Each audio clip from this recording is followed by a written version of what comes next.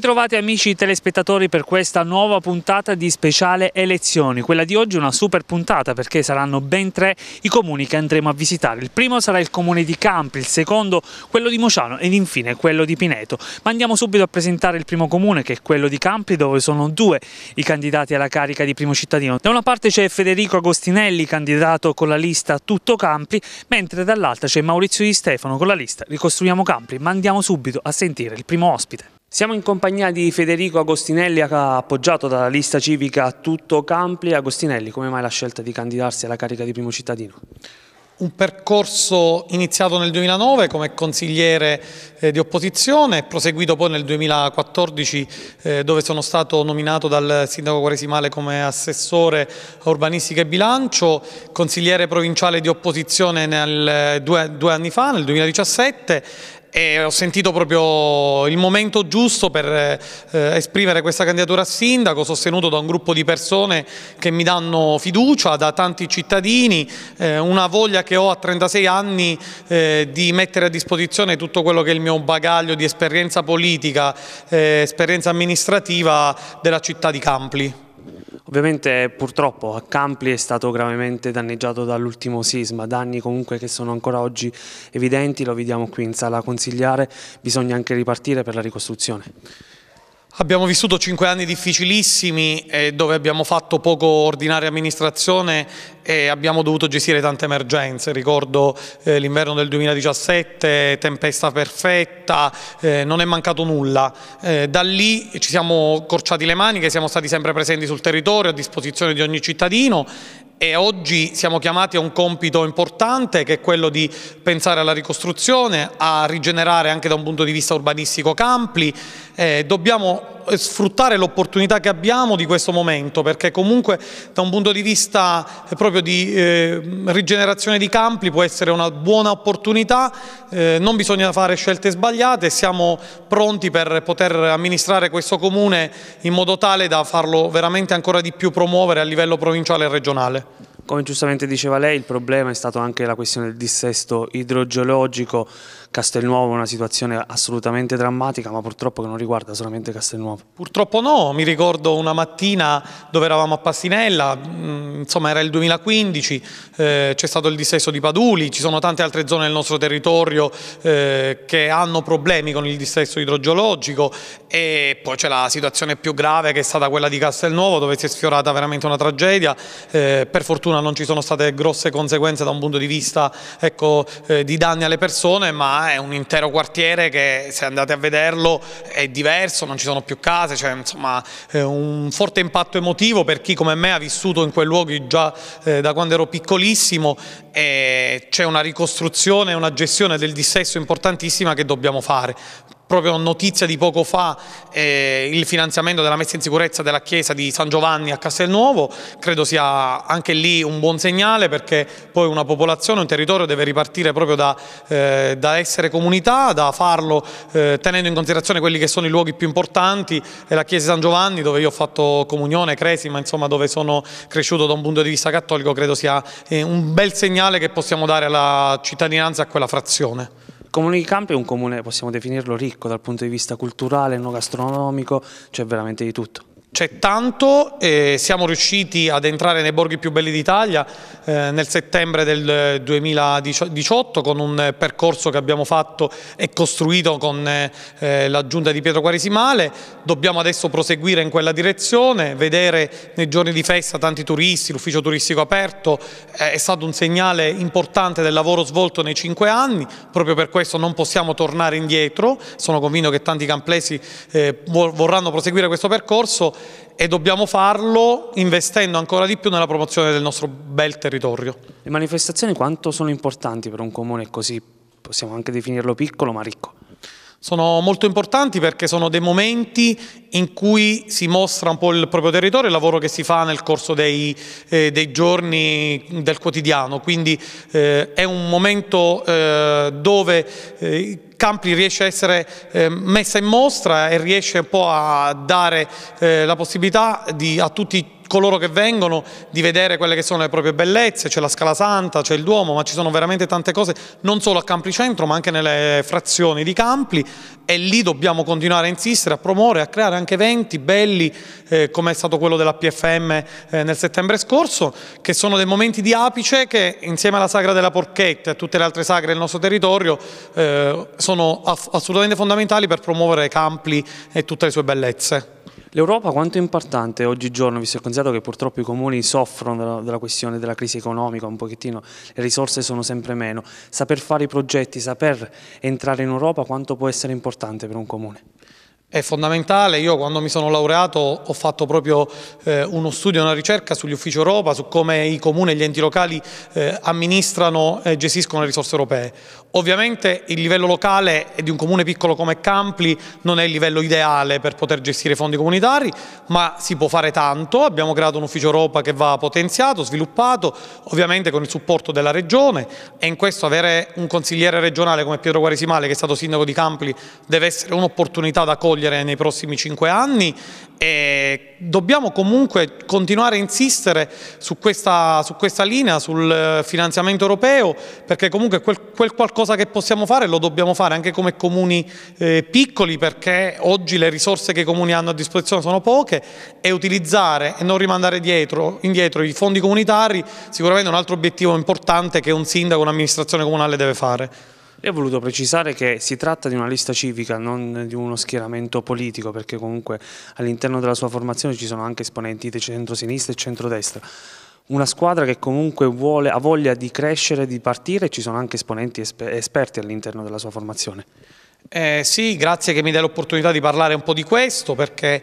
e ci tengo a dire che il nostro progetto civico parte dal 2009, è un progetto eh, che è nato con la candidatura di Antonio Francioni la prima volta e con quella di Pietro Quaresimale dopo. Prosegue questo progetto a tutto Campli con me candidato sindaco, ma è una squadra che vede quattro amministratori della passata amministrazione, ma otto visi nuovi che sono giovani, donne, che eh, rappresentano un po' tutto il territorio del comune di Campli perché al centro c'è un progetto, un progetto eh, che vede Campli eh, come punto focale di questa azione amministrativa che dobbiamo andare eh, avanti e proseguire, andare oltre il mio slogan perché vogliamo partire da tutto quello che di buono abbiamo fatto nella passata amministrazione, migliorare le cose che sono andate meno bene. C'è tanto da fare, una squadra che ha come caratteristica quella di eh, avere la voglia di impegnarsi, di, di mettere a disposizione proprio sapere sapere, il proprio tempo della comunità e credo che sia fondamentale in questi giorni che mancano da qui al 26 maggio continuare questa presenza, questa conoscenza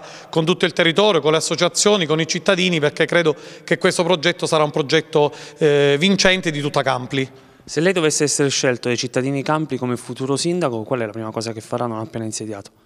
Sono tante priorità, la ricostruzione e riportare tanti cittadini il prima possibile nelle loro case per quelle che saranno le possibilità dei comuni, il nuovo polo scolastico, la messa in sicurezza delle scuole del, eh, del nostro territorio, la promozione di campi eh, da un punto di vista turistico e poi anche cose più piccole perché un comune deve occuparsi anche di eh, tante altre piccole cose, ci sono eh, delle piazze da ultimare, credo che è tutto pronto e sono cose concrete, visibili, d'impatto, i primi 15 giorni le dobbiamo far partire perché poi dobbiamo dare l'idea già da subito della voglia che abbiamo, della voglia da mettere in campo e dobbiamo ecco, insistere da subito perché mi sono reso conto nella passata amministrazione che per fortuna siamo partiti subito eh, molto bene, abbiamo subito eh, fatto tutto quello che era nelle nostre possibilità perché poi le emergenze e gli imprevisti sono dietro l'angolo e in quei periodi sicuramente dobbiamo pensare a quella gestione. Io mi auguro che non ci sia un mandato come il precedente da un punto di vista di difficoltà, eh, terremoti, dissesti e quant'altro,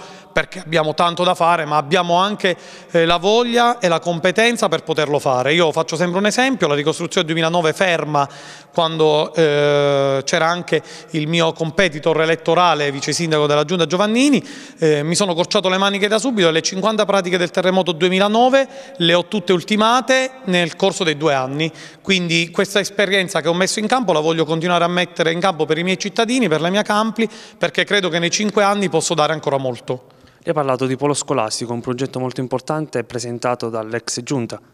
presentato da noi, è un progetto che deve partire, deve partire eh, con il coinvolgimento di tanti genitori, della scuola, eh, dei cittadini, perché deve essere un progetto non di Federico Agostinelli, ma un progetto di Campli che deve rimanere negli anni, che deve essere sicuro perché la messa in sicurezza degli edifici scolastici la possibilità da dare a tanti ragazzi che andranno a scuola qui a Campli nel corso degli anni deve essere un punto centrale dell'azione amministrativa. Ci tengo tantissimo, credo di seguirla in prima persona perché è un progetto che eh, riguarda, ripeto, tutta Campli e sono certo che tra qualche anno avremo un eh, eh polo scolastico fiore all'occhiello di questa provincia. Giovani e lavoro? Tema difficilissimo, eh, abbiamo delle proposte che abbiamo inserito nel programma, vogliamo dare quello che è il supporto che un comune può dare ovviamente perché anche qui parliamo di eh, politiche del lavoro che sono politiche eh, regionali, però abbiamo dei piccoli incentivi, delle piccole belle iniziative che nel nostro programma abbiamo inserito che vogliamo lanciare. Chi assumerà qualcuno, qualche ragazzo del comune di Campli sicuramente avrà eh, dei bonus che come amministrazione comunale daremo ed è un modo simpatico per dare un segnale importante e un messaggio che l'amministrazione comunale di Campli è vicino anche a chi non ha lavoro perché eh, trattato in questo modo credo sia eh, importante ed è un tema eh, che va affrontato con la dovuta calma, però qualche iniziativa importante come abbiamo fatto nella passata amministrazione eh, sullo sconto Tari, mi ricordo che siamo andati sul sole 24 ore per, per essere stato il primo comune a, a, dare delle agevolazioni alle nuove attività che venivano a Campli, ecco credo che dobbiamo continuare in quella direzione perché quel poco che possiamo fare lo dobbiamo fare. Agostinelli, l'intervista è quasi terminata, perché i cittadini camplesi devono scegliere lei? Devono scegliere Federico Agostinelli, la lista a tutto Campli, perché credo che rappresentiamo la continuità dei cinque anni che abbiamo eh, avuto qui eh, nel nostro comune. Siamo stati sempre presenti, lo continueremo ad essere, siamo stati sui problemi, li abbiamo saputi risolvere e abbiamo ancora tante idee da mettere in campo per cercare di avere nel 2024 una Campli diversa, più bella ancora di quella che abbiamo, che è ripartita e ha superato le difficoltà attuali. Grazie mille a Federico Agostinelli, candidato sindaco della lista civica Tutto Campri. Siamo in compagnia di Maurizio Di Stefano, appoggiato dalla lista Ricostruiamo Campri. Di Stefano, come mai la scelta di tornare nel mondo della politica? Ma in effetti il mondo della politica non l'ho mai abbandonato, nel senso che io sono un appassionato di politica e quindi ho sempre svolto attività in questo ambito. E sono stato vice sindaco di questo comune dal 2009 al 2014 un gruppo di amici, di persone, di giovani stanno puntando su di me, mi hanno spinto, mi stanno sostenendo affinché io mi candidassi, cosa che poi è avvenuta e quindi insomma l'impegno è proprio quello civico, di mettersi a disposizione con una lista civica di persone giovani, competenti, per portare un profondo rinnovamento e cambiamento nel comune di Campli. Questo è quello che vogliamo fare e stiamo vedendo che i cittadini camplesi stanno apprezzando questo nostro progetto. Il nome della sua lista civica è Ricostruiamo Campri. La ricostruzione è un argomento molto importante per questo comune e vediamo i segni comunque che ci sono causati dal terremoto. Sì, siamo in un edificio, edificio comunale, nella sede municipale, Palazzo Farnese, che porta i segni delle ferite del terremoto, è un palazzo che ha subito degli interventi di messa in sicurezza, la ricostruzione è un tema importantissimo, ci sono tante persone che non sono nelle loro abitazioni in quanto danneggiate dal sisma, L'obiettivo principale è quello di ricostruire, quindi di riparare le abitazioni nel più breve tempo possibile. Per fare questo ci vogliono persone competenti. Io ho competenze specifiche in questo ambito, svolgendo il mio compito e il mio lavoro di funzionario dei Vigili del Fuoco da ormai 30 anni, quindi svolgo attività di tipo tecnico amministrative, in particolar modo in quelli che sono poi gli eventi calamitosi e quindi dover poi intervenire su un territorio ferito come quello di Campri richiede anche competenze specifiche, cosa che io posso ovviamente mettere in campo. Oltre alla ricostruzione causata dal terremoto c'è anche il problema del sistema idrogeologico che purtroppo ha creato tantissimi danni come nella frazione di Castelnuovo. Sì, in effetti nella frazione di Castelnuovo si è verificata una frana, un crollo di una parete, di un versante che ha fatto sì che molte abitazioni, circa 30, fossero sgombrate e gli edifici successivamente demoliti. Quindi attualmente quella porzione di Castelnuovo è vuota dagli edifici che c'erano precedentemente. Questo cosa comporta? Comporta che gli abitanti siano poi stati trasferiti o in strutture provvisorie oppure in autonoma sistemazione e quindi attualmente c'è da ricostruire quella, quella comunità. Eh, al contrario mh, rispetto alla frazione di Ponzano di Civitella del Tronto, dove il Comune già da tempo ha avviato una serie di procedure che hanno portato all'individuazione dell'area dove ricostruire la nuova Ponzano, qui a Castelnuovo invece non c'è una situazione di questo tipo. Il Comune di Campri non ha ancora fatto nulla per quanto riguarda l'individuazione dell'area dove ricostruire le abitazioni e quindi noi ci poniamo invece con un obiettivo preciso, quello di fare in modo che nel più breve tempo possibile, con la partecipazione di un comitato che si è costituito, che è Castelnuovo nel cuore, e dei cittadini di Castelnuovo, individuare un'area idonea dove con procedure rapide, efficaci, si possa poi effettivamente ricostruire quella zona di Castelnuovo che attualmente è stata svuotata. Possiamo dire che il Comune di Campi è un comune ricco dal punto di vista enogastronomico e dal punto di vista culturale? Beh, io direi che è un comune molto ricco, abbiamo delle peculiarità rilevanti abbiamo delle persone che stanno investendo sul turismo, dovrà farlo anche il Comune di Campli, ma non soltanto con la partecipazione a fiere costose, con sperpero spesso di denaro pubblico. Sì, ovviamente occorre la promozione turistica, su quella punteremo moltissimo, la faremo in maniera mirata, senza dispendio di risorse inutili, ma bensì impiegandole al meglio queste risorse. Abbiamo una ricchezza che è quella della porchetta italica, e con la Proloco punteremo appunto a valorizzarla al meglio. Abbiamo in mente di avere un marchio di qualità, cosa che ad oggi manca, che potrà valorizzarla e poi una filiera che sia locale per dare anche possibilità di occupazione a tanti giovani che oggi invece questa occupazione non ce l'hanno. E poi abbiamo un borgo di qualità eh, il sindaco Resimale precedentemente si era impegnato per ottenere, eh, per ottenere il riconoscimento di, di, uno dei borghi più belli d'Italia, cosa che è avvenuta, questa cosa ovviamente non può farci che piacere, ma non è sufficiente un'insegna per poi cambiare quello che è l'afflusso turistico in una località bella ma ferita come quella di Campri, ci vogliono strategie nuove, importanti di promozione turistica. Abbiamo in mente di fare tutto questo, creare un brand di Campri e fare in modo che anche con accordi con Civitella del Tronto, che ha peculiarità speculari rispetto a, di Campi, a quelle di Campri, ci sia un progetto univoco che metta a disposizione i beni che queste due realtà hanno sul loro territorio in termini sia enogastronomici ma di storia e cultura, abbiamo due borghi eccezionali e quindi con un'attività mirata fatta insieme potremmo ottenere l'obiettivo principale che è quello di fare in modo che il turista permanga sul territorio più giorni, in maniera che ci sia anche poi risorse che arrivino a Campli così come a Civitella e questo non può essere che un vantaggio comune. Per lei l'argomento Europa che argomento è? Ma è un argomento importantissimo. Eh, qui al Comune di Cambria è stato creato un ufficio Europa con un delegato, abbiamo le insegne qui sotto al Palazzo Comunale che è Luca Di Girolamo, io vorrei oggi candidato nell'altra lista, mi farebbe piacere sapere questa attività di questo ufficio in che cosa è consistita, quali sono stati i progetti sviluppati, quali sono stati i fondi ottenuti, al momento non ho notizia di nulla del genere, quindi mi farebbe piacere saperlo. Noi su questo punteremo, lo faremo in modo da poter fare dei progetti integrati, come dicevo prima ad esempio con Civitella o con altre realtà, per fare in modo che ci siano dei progetti reali, applicabili, su cui presentare proposte per ottenere fondi da poter poi impiegare sul territorio e valorizzare i beni che abbiamo. Faccio un esempio per tutti c'è il parco archeologico di Campovalano che al momento è visitabile, ma è, una, è un parco che ha un'ampia area, non ancora oggetto di scavi, dove ci sono tante tombe con i reperti e qui si potrebbe attivare con delle università di archeologia dei campi di scavo per fare in modo che persone vengano qui a Campli, svolgano questa attività e ci potrebbe essere un interesse sia da parte dell'università sia da parte di Campli stessa. Che squadra si è preparato per affrontare queste elezioni amministrative? Ma una squadra che a me piace molto e sta, e sta riscuotendo l'apprezzamento di molti cittadini. Come detto prima, profondo rinnovamento e cambiamento. Ci sono io come, che ho esperienze già pregresse, come dicevo prima come vice sindaco di questo comune,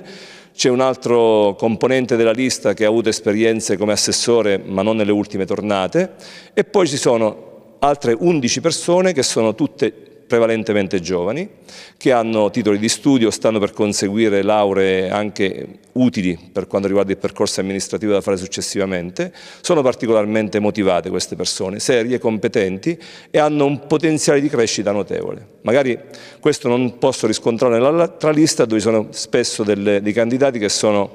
a un punto della carriera politica che immagino sia al termine e quindi magari in questo caso non c'è la possibilità poi di dare un apporto importante a quella che è la vita amministrativa del Comune di Campi. Nel mio caso, nella mia lista, ho queste energie fresche, giovani, con un potenziale di crescita davvero notevole. Giovani e lavoro, un argomento che comunque è molto importante, soprattutto per un comune così piccolino anche.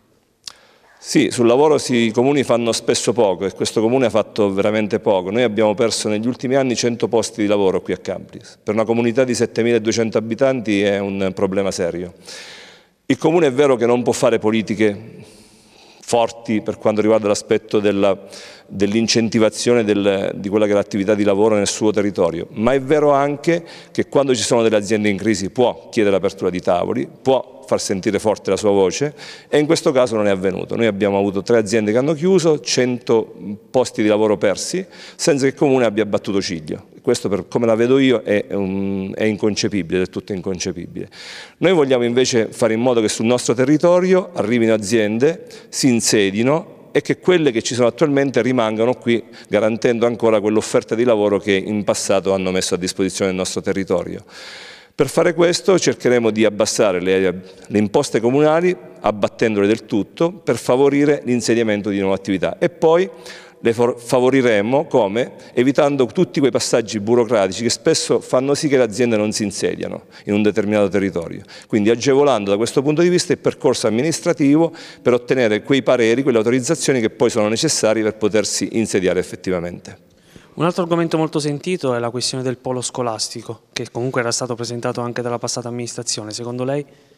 Sì, eh, ahimè il polo scolastico era stato presentato, eh, era stata anche enfatizzata questa realizzazione, eh, pubblicizzando il fatto che erano stati eseguiti sondaggi quasi un anno fa, da allora non si è avuta più notizia di nessuna attività e quindi qui occorrerà da parte dell'amministrazione che sarà chiamata ad amministrare campi un impegno forte perché c'è bisogno di avere scuole sicure, accoglienti e come ho detto in qualche incontro che abbiamo fatto in questi giorni anche belle, perché è giusto che i bambini siano, si ritrovino poi in ambienti che siano accoglienti, dove possono stare serenamente e svolgere attività interessanti. Quindi l'impegno nostro è quello di recuperare questo ritardo che in effetti c'è, lo faremo con il massimo impegno, io ho competenze specifiche come dicevo prima, ho relazioni con gli uffici che si occuperanno poi all'altro livello di autorizzare questa, in, questa realizzazione, faremo in modo che i tempi siano brevi brevi e che la realizzazione sia una realizzazione veramente utile per il futuro di Campri e dei bambini che dovranno essere accolti in quegli edifici.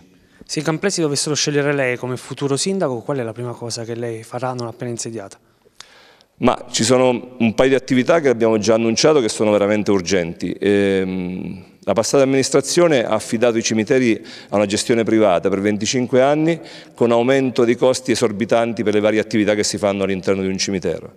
Eh, noi riteniamo che questa cosa non sia accettabile, quindi una delle prime cose che faremo è quella di eh, utilizzare le risorse che devono essere destinate al Comune di Campli per poter abbassare queste tariffe e rivedremo anche quell'affidamento per capire se ci sono dei margini per poter appunto procedere con una gestione differente. Altra cosa, in questi giorni il commissario che ovviamente svolge il suo compito per garantire gli equilibri di finanza ha ehm, deliberato l'aumento del costo del trasporto dei pulmini da 60 euro l'importo precedente fino a un massimo di 450 euro in base al reddito ISE. E questo significherà per le famiglie che hanno un reddito di un certo tipo ma senza andare troppo in alto, pagare quote eccessive per il trasporto degli alunni, Significherà inoltre che ehm, queste, queste, persone che dovranno utilizzare il trasporto dovranno poi effettivamente eh, versare delle somme ma dopo aver fatto il reddito ISE. Spesso sappiamo che è un percorso ad ostacoli l'ottenimento della certificazione ISE. Quindi modificheremo questa delibera appena possibile per fare in modo che il costo dei pulmini torni ad essere accettabile. Di Stefano, siamo arrivati quasi alla fine di questa lunga intervista. Qual è il messaggio che vuole dare ai cittadini camplesi? Ma il messaggio è molto semplice. Io sono conosciuto dai cittadini camplesi, sanno come mi sono comportato nei cinque anni di amministrazione dove ho svolto il ruolo di vice sindaco, credo che sia stato anche abbastanza apprezzato questo mio, questo mio impegno. Io ho fiducia nei cittadini camplesi perché la squadra che abbiamo messo in campo è una squadra di persone giovani, competenti, serie, che potranno davvero costituire un elemento di rinnovamento, di cambiamento per il Comune di Campli. E sono sicuro che questo messaggio che sta passando forte e chiaro verrà molto apprezzato dai camplesi e ci daranno la loro fiducia. Grazie mille a Maurizio Di Stefano, candidato alla carica di primo cittadino con la lista Ricostruiamo Campri, quindi adesso diamo spazio al prossimo ospite. Eccoci ritrovati amici telespettatori, adesso siamo all'interno del comune di Mociano Sant'Angelo. Qui a Mociano sono tre i candidati alla carica di primo cittadino, c'è il sindaco uscente Giuliano Galiffi appoggiato dalla lista Mociano Democratica, poi c'è Maria Cristina Cianella appoggiata dalla lista Obiettivo Mociano ed infine Teseo Potenza appoggiato dalla lista Azione Politica. Ma andiamo subito a intervistarli e per vedere con loro il programma che hanno ideato per questa città. Con il sindaco uscente Giuliano Galiffi, appoggiato dalla lista Mociano Democratica, bisogna continuare un percorso, è questa la sua idea di candidatura? Sì, quando mi hanno chiesto, quando mi ha chiesto l'organizzazione di Mociano Democratica, io ho accettato responsabilmente di portare avanti tutto il lavoro che abbiamo messo in campo nel quinquennio che si è concluso. Infatti il programma delle, dei cinque anni del 2014, in quel programma si, di due, si parlava di due indirizzi principali per l'attività amministrativa. Uno di guardare al quotidiano, alle emergenze, a quando sarebbe potuto accadere quando era giusto fare nella quotidianità e poi anche i grandi progetti, le grandi risoluzioni delle problematiche annose da portare avanti che sarebbero andati oltre, ben oltre il quinquennio dell'amministrazione, quindi si parlava di dieci anni. In questi cinque anni quindi poi lavorando su questi due filoni diciamo qualcosa eh, c'è stato anche di imprevisto, di grave imprevisto a partire dalle calamità, dai terremoti, dalle alluvioni, dalle frane che già erano in atto e si sono aggravate, e le nevicate eccezionali del 2017, quindi tutta una serie di, inconvenienti, ma anche di mancato rispetto di alcune convenzioni da parte dei contraenti dell'ente, che hanno ritardato l'azione per le cose più grandi, ma dalle quali non ci siamo mai distolti e quindi abbiamo sempre lavorato per la risoluzione del, dei problemi grandi, tipo quella della discarica di Santa Maria Assunta, che appena insediata ci è pervenuta la nota della Regione di dover immediatamente provvedere alla sistemazione, ma non avevamo né un progetto esecutivo né i fondi. Io come amministrazione ci siamo attivati affinché la Regione mettesse del suo in questa di scarica per la bonifica, in quanto negli anni di apertura era stata a servizio della collettività, maggiormente regionale e anche provinciale. C'erano state delle ordinanze, dei decreti che imponevano al Comune di dover, di dover raccogliere i rifiuti di diverse località. E nel 2003, quando venne chiusa, fu prescritta di riaprirla per sei mesi si, in, si è incappata diciamo, nella disposizione della legge 36 per le bonifiche che prevedeva un piano decennale di accantonamento delle introiti per poterle bonificare, ma decennale non c'è stato perché ha durato soltanto sei mesi, quindi a fronte di questa situazione imposta da enti superiori non poteva che essere eh, diciamo, competenza degli enti superiori, quindi la Regione ci siamo attivati alla ricerca del finanziamento che poi c'è stato prima con il master plan, ma poi con il CIPE, siamo andati anche noi come comune a smuovere le acque al CIPE. E alla fine la provincia di Teramo, le quattro discariche nella provincia di Teramo da bonificare hanno percepito un beneficio ministeriale, un finanziamento ministeriale, quello maggiore al comune di Mociano, di 6 milioni e mezzo, ma per arrivare a 6 milioni e mezzo sono passati tre anni, tre anni nei quali non c'era il finanziamento era soltanto parziale. Avevamo redatto un progetto mh, mm, tre anni fa che la Regione, essendo troppo eh, eccessivo come costi, non approvò, ci disse di ridurlo. L'avevamo ridotto, abbiamo fatto ben sei versioni progettuali. Sei versioni progettuali che poi non venivano sistematicamente con il palleggio tra l'Arta e la Regione, servizio rifiuti, non venivano, non venivano approvati da entrambi questi due enti, queste due istituzioni. E quello che diceva la Regione non andava bene all'Arta. Alla fine siamo arrivati dopo la sesta, sesto, la sesta diciamo, versione progettuale eh, alla al costo iniziale di 6 milioni e mezzo. Cioè, se avessero accettato subito nostre, il nostro progetto, le nostre proposte, tre anni fa questa cosa sarebbe già stata pronta. Invece siamo andati lunghi con uh, tutte le pratiche, eh, la progettazione definitiva è stata approvata a fine anno del 2018, a febbraio del 2019 abbiamo sottoscritto la convenzione con la Regione per spendere quei 6 milioni e mezzo. Naturalmente bisogna fare delle gare, delle procedure europee per poter diciamo, attivare tutta la, diciamo, l'attività di inizio lavori e durante quest'anno necessariamente la pratica si dovrà chiudere per poter finalmente porre fine per cominciare i lavori, per cominciare i lavori di, di bonifica. Purtroppo le procedure sono lunghissime, ci sta la novità, la grossa novità dell'anticorruzione che ha imposto ai comuni piccoli, escluso i comuni grandi, quello di capoluogo, di fare le centrali di committenza. Le centrali di committenza sono degli uffici, delle strutture che pensano a fare la stazione appaltante, stazioni appaltanti che non possono essere più i comuni, quindi procedure lunghe per la scelta dei progettisti, procedure lunghe per la scelta dei, che comunque sono procedure europee, comunque lunghe, ma se potessero direttamente fare gli uffici comunali si eh, accelererebbe certamente di più. Purtroppo dobbiamo sottostare a queste condizioni e la tempistica di tutta l'attività amministrativa in questi cinque anni si è portata avanti con lungaggini anche insopportabili. Purtroppo le regole, le leggi vanno rispettate e così noi non è che possiamo inventarci leggi comunali, abbiamo quello, quelle dello Stato, quelle su, sui contratti pubblici, sui lavori pubblici, sui appalti, servizi e forniture che vanno comunque. E per qualsiasi cosa, anche per la progettazione delle scuole, abbiamo perso più di un anno per, per dare l'incarico. Progettazione di una scuola nuova, abbiamo perso un anno Avevamo dei soldini che poi con il terremoto sono stati distolti da, da, come impegno per progettare la nuova scuola unica. Nonostante tutte queste difficoltà non ci siamo mai sottratti di portare avanti l'iniziativa. Alla fine, per quanto riguarda, nonostante le lungaggini, siamo riusciti a, ad approvare un progetto esecutivo cantierabile anche per la scuola elementare unica del capoluogo. L'abbiamo presentato all'INAIL per un finanziamento da parte dell'INE patrimonio come eh, interventi di alta valenza sociale e questo sta in istruttoria dovrebbe essere diciamo, finanziato, ma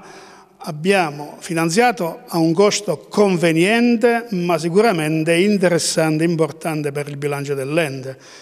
Invece con lo stesso progetto abbiamo pensato anche di presentarlo alla MIUR, c'è stato un bando per l'edilizia scolastica in Abruzzo e anche lì ci siamo messi in buona posizione. Se la graduatoria dovesse essere rifinanziata, in quanto è un bando triennale 18, 19 e 20,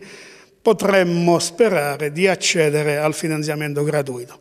Stiamo diciamo, caldeggiando queste due situazioni, mm, le, le, teniamo, le attenzioniamo, vediamo di decidere quale potrà essere la soluzione. Quindi sono stati comunque cinque anni in cui voi avete dovuto correre dietro l'emergenza. Abbiamo dovuto eh, correre dietro l'emergenza e seminare tanto, i frutti sono imminenti, sono in procedura di arrivo, ma difficilmente qualcosa si vedrà eh, subito, mm, ma nel prossimo mese, nei prossimi mesi, tante opere, tanti, tanti cantieri dovranno essere aperti. Quindi, eh, poi abbiamo lavorato anche tanto in campo sociale, in campo sociale una tematica importantissima dove il Comune di Mociano, noi eravamo nel, nel consorzio d'ambito di tre comuni, Mociano, Bellante e Giulianova, per legge la Regione ha legiferato di modificare questi ambiti, siamo diventati sei comuni, adesso c'è anche Roseto, Notaresco e Morrodoro e abbiamo costituito l'ambito, l'unione dell'ambito sociale. Abbiamo costituito questa unione in quattro comuni dove due comuni sono venuti in convenzione e quattro sono, diciamo, rappresentano la governance del, dell'unione dei comuni. Qui molti servizi sono stati messi in campo, richieste di finanziamento, c'è stato un finanziamento di 600.000 euro di Abruzzo Include che vedrà in questi giorni i primi risultati, saranno chiamati oltre 20 qui in Comune di Mociano 20, 20 interessati per partecipare a questo progetto, 8 lavoreranno con il Comune, gli altri saranno chiamati dalle imprese. Un finanziamento di 6 mesi per l'avvio al lavoro, sono i progetti di tirocinio, per avviare anche delle, delle attività produttive, queste possibili diciamo, dare futuro a chi cerca lavoro e quindi un, lavoro, un impegno anche qui molto forte, un impegno forte anche con la spesa sociale. Con la rivisitazione delle fasce ISEE abbiamo dovuto rivedere un po' tutta la panoramica per quanto riguarda gli asili nido. L'asilo nido che prima aveva soltanto 35-40 bambini, adesso siamo arrivati a 50, a 50 e con una spesa maggiore dalla quale non ci sottraiamo, l'abbiamo pianificata nel triennio, due, tre bilancio, bilancio 19, bilancio 20, bilancio 21, questa maggiore spesa perché intendiamo prestare massima attenzione alle famiglie affinché possano soffrire del servizio nel miglior modo possibile, affinché si possa dare un aiuto anche a chi deve lavorare, non può permettersi il lusso di pagare qualcuno a casa e quindi questa assistenza, benché più costosa non solo per l'aumento del numero, ma anche per la rivisitazione delle fasce 6, non ci siamo sottratti come impegno di dare questo servizio importante alla collettività. Sempre in campo sociale abbiamo mantenuto l'attività di dopo scuola presso la struttura del Peter Pan, qui una struttura che è gestita da una cooperativa, alla quale è stata affidata in seguito a una regolare diciamo, gara e anche lì sono circa 70 bambini, una, sono, sono, cose che 70 ragazzi che magari anziché andare non hanno possibilità nelle famiglie dopo nel pomeriggio di essere assistiti dai genitori, non hanno tempo di seguirli, anche lì diamo una grossa risposta dal punto di vista sociale, cosa che benché costosa cerchiamo di comunque di, di, diciamo, di portare avanti a tutti i costi, perché il sociale dato il degrado di questi ultimi tempi, diciamo, problemi a livello familiare ce ne sono diversi, situazioni che potrebbero diventare ben più gravi, pensiamo che abbiamo di avere il dovere di assistere questi aspetti importanti della, della, che riguardano le famiglie sono primo, la prima base della società. Sindaco, siamo arrivati alla fine di questa lunga intervista, qual è il messaggio che vuole dare ai suoi cittadini? Perché devono scegliere nuovamente lei? Perché abbiamo tante cose da portare avanti e conosciamo i problemi dove intervenire. Sono tantissime le cose, ne abbiamo detto solo una parte. E sinceramente interrompere questa azione sarebbe la cosa più grave che il Comune di Mociano potrebbe, potrebbe, al Comune potrebbe accadere. Quindi tante sono le cose da portare avanti, tante sono quelle ancora nuove, tante quelle da completare, ma sono in campo tutte e veramente sarebbe ingiusto che non potessimo noi continuare a farle. Grazie mille a Giuliano Galiffi, candidato con la lista Mosciano Democratica, ma adesso diamo spazio al secondo ospite. Eccoci ritrovati amici telespettatori, adesso siamo in compagnia con l'altra candidata al comune di Mosciano, siamo in compagnia di Maria Cristina Cianella, appoggiata dalla lista Obiettivo Mosciano. È un progetto importante perché lei comunque è stata per dieci anni all'opposizione, quindi sa come, sta, come, funziona la macchina politica. Qual è il primo intervento e soprattutto perché ha deciso di candidarsi come primo cittadino? Allora, al di là dell'impegno, innanzitutto salve a tutti, al di là dell'impegno politico che mi ha vista protagonista in questi dieci anni nei banchi dell'opposizione, l'impegno e la voglia di candidarmi è eh, prima di tutto di tipo sociale. Io ho 41 anni, sono la mamma di un bambino di tre anni e mezzo, eh, sono una moglie e sono una professionista e mi rendo conto che c'è la necessità di dare delle risposte a tutte le categorie che ho detto. Quindi come comune, il comune di Mociano adesso deve veramente vivere un momento di slancio per dare risposte alle famiglie, ai bambini, alle giovani coppie e anche ai professionisti di cui tra l'altro il territorio pullula. Quindi nei banchi dell'opposizione in questi dieci anni sicuramente ho maturato una consapevolezza e ehm, l'attitudine a quello che poi deve essere insomma, la propensione per l'amministrazione e per una buona amministrazione. I motivi però ecco, sono anche etici, nel senso che eh, se le cose devono cambiare bisogna avere un impegno diretto e concreto e quindi era giusto che si potesse ottimizzare il lavoro svolto dai banchi dell'opposizione facendo un salto di qualità. E lo devo dire tutta, il salto di qualità è venuto anche grazie all'ausilio di un'altra collega dei banchi dell'opposizione che è l'avvocato Nadia Baldini che l'altra volta si è presentata in una lista diversa rispetto alla mia, invece abbiamo fatto un percorso unitario, abbiamo capito che l'unità di intenti poteva viaggiare anche con l'unità dei numeri e delle forze e insieme alla collega Nadia Baldini, ma a tutti i candidati consiglieri, ma anche a tutte le forze civiche e liberali democratiche, è nato il progetto proprio Obiettivo Mociano, che ha un unico obiettivo, la nostra collettività. Ovviamente purtroppo i comuni della provincia di Teramo hanno sofferto in questi anni perché c'è stato il terremoto, c'è stato il maltempo, ci sono stati problemi che sono emersi dopo tantissimi anni come quello del, del dissesto idrogeologico, un problema che purtroppo riguarda anche Mociano. Purtroppo sì, noi abbiamo una frazione che è la Contrada Marina che è veramente una ferita aperta nel cuore del nostro territorio. Ci sono attività produttive e ci sono anche eh, privati che hanno visto demoliti i loro immobili ma purtroppo oltre il danno anche la beffa hanno visto demoliti i loro immobili non perché gli immobili erano in abuso, ma immobili profumatamente sudati con il frutto del proprio lavoro e quindi costruiti su un titolo edilizio.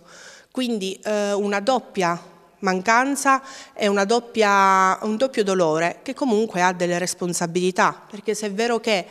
all'epoca delle costruzioni determinati tipi di richieste, soprattutto per quello che era proprio lo studio del geologico, non erano necessarie, è altrettanto vero che però in questi anni è, è mancato l'approfondimento di quello che comunque è un terreno argilloso, quella contrada marina, una collina che col tempo continua a camminare e su cui bisognerà intervenire. Un primo intervento è stato anche diciamo, deciso ovviamente con un ente superiore che è la Regione Abruzzo, ma è un intervento per calmare la situazione, non per risolverla definitivamente. E poi qui mm, insomma una riflessione politica va fatta. Il nostro è un comune che da 43 anni viene eh, governato dalla stessa matrice politica, il centrosinistra. Quindi se ci sono pregi e ci sono lodi da fare, al centrosinistra vanno fatti. Però se ci sono demeriti e ci sono pecche che purtroppo si ravvisano facendo un giro a piedi nel nostro territorio e osservando cosa abbiamo incontro, la responsabilità è una responsabilità politica che porta il colore del centro-sinistra. Ovviamente un altro argomento molto importante che riguarda il Comune di Mociano è la questione della discarica. Certo che sì, la discarica di Santa Maria Assunta è anche questa un'altra ferita che sta nel territorio del nostro Comune. È una discarica latente, chiusa a seguito di un'ordinanza e sono circa 17 anni che però non è ancora oggetto di bonifica. Tra l'altro un mese fa eh, l'Unione Europea ha attenzionato con una sanzione la discarica di Santa Maria Assunta proprio perché è una delle 23 discariche più pericolose presenti su tutto il territorio nazionale.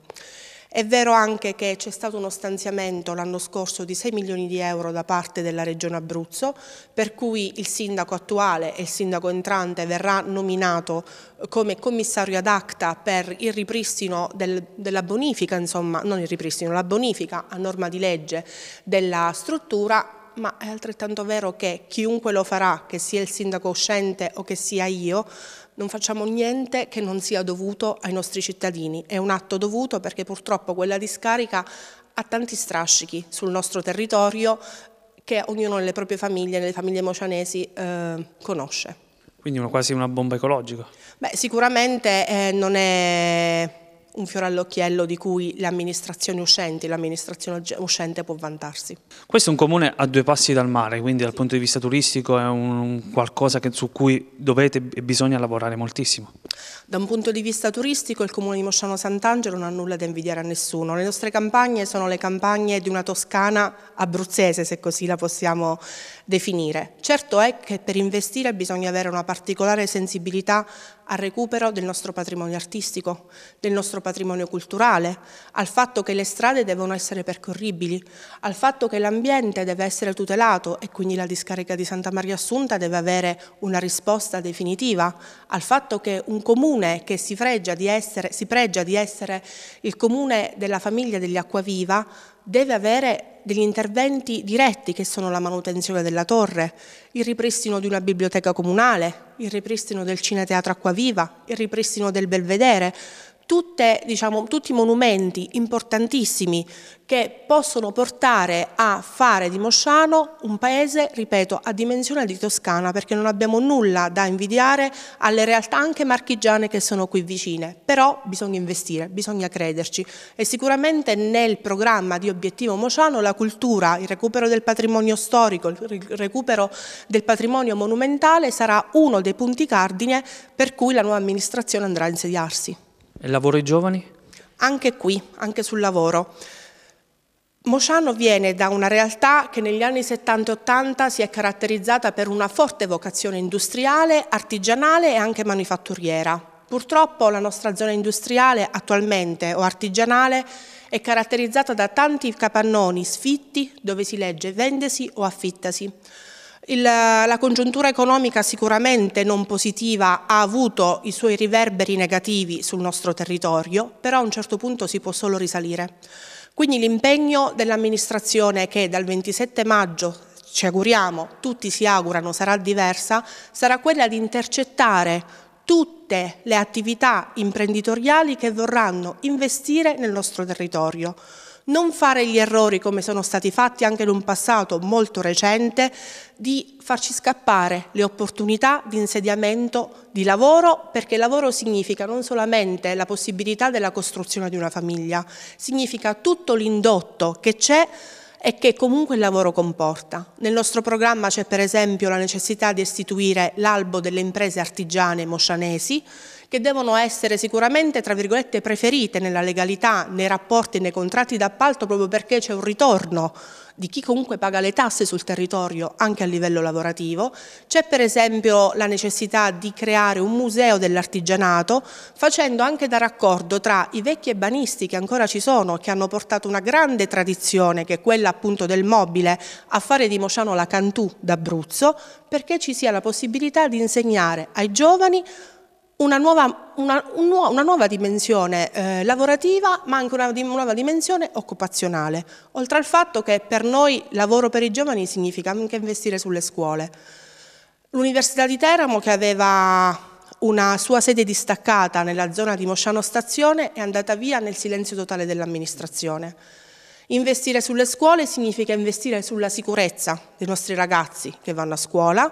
ma significa anche fare dei percorsi di approfondimento tra l'ente istituzione e il raccordo scolastico, come per esempio potrebbe essere nel nostro programma c'è un percorso di educazione alla legalità. Insomma, creare una formazione del patrimonio del capitale umano di cui Mociano può solo vantarsi. Siamo arrivati alla fine di questa lunga intervista. Qual è il messaggio che vuole dare ai cittadini di Mociano? Il messaggio che mi sento di dare ai cittadini di Mosciano è questo. Spesso quando si passa diciamo, da un'amministrazione all'altra, sembra quasi scontato parlare di prosecuzione di, un'amministrazione che purtroppo ad oggi non ha soddisfatto le maggiori prerogative dei cittadini rispetto al cambiamento. Per noi il cambiamento non è una parola vacua, per noi cambiamento è una parola concreta. Il 2019 è l'anno della svolta, sicuramente ci sarà un momento di cambiamento collettivo ed etico nell'amministrazione della cosa pubblica. Siamo tutti cittadini liberi, quelli di Mociano, di, della lista obiettivo Mociano, abbiamo voglia di lavorare, abbiamo voglia di spenderci, non perché la nostra è una grande famiglia e fino a questo momento abbiamo avuto un padre di famiglia che si è alternato insomma, sotto gli stessi colori politici. Io credo molto nelle donne, sono una donna e questa volta una madre di famiglia veramente potrà dare quello di cui Mociano ha bisogno. Se dovesse scegliere lei come nuovo sindaco, qual è la prima cosa che lei farebbe? La prima cosa che io farei sarà sicuramente sedermi, studiare le carte insieme ai miei validi collaboratori, in primis, ripeto, la collega Baldini, ma tutti coloro che fanno parte della mia squadra e cominciare a reinvestire l'attività amministrativa sul capitale umano, sui mocianesi.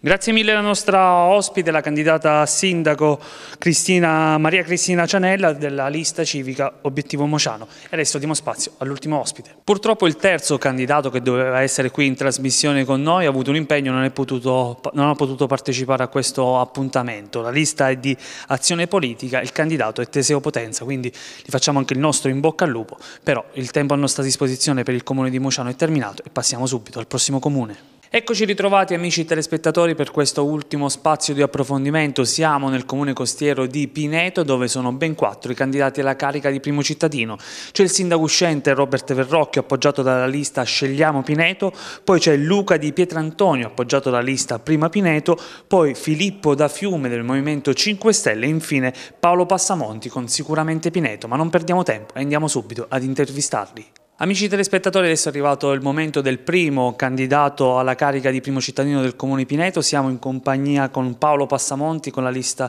Sicuramente Pineto. Passamonti, come mai la scelta di entrare nel mondo della politica? Innanzitutto grazie e buongiorno a tutti. La scelta, devo dire una cosa, Negli ultimi anni qualche volta mi hanno chiesto se volessi scendere in politica, ma essendo impegnato lavorando uh, nel lavoro che, che, amavo, che ho sempre amato, cioè il mio mestiere, fare il poliziotto, non, non ci ho mai pensato. Nel momento in cui sono andato in pensione, a circa, circa un anno fa, mi hanno chiesto uh, di scendere in campo e devo dire che ci ho riflettuto parecchio perché avevo raggiunto una situazione oramai di stress molto limitato rispetto a prima, diciamo che ero tranquillo e volevo che questa tranquillità continuasse.